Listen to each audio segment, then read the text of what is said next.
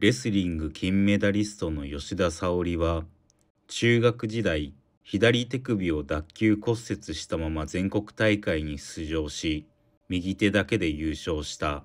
吉田沙保里の公式戦の記録は301勝14敗。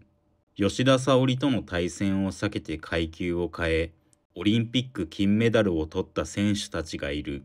アルソックの CM の吉田沙保里は自力で壁に張り付いている。